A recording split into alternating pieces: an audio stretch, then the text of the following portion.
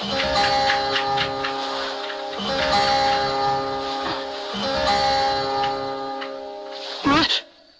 thought I was going to give you a smooch.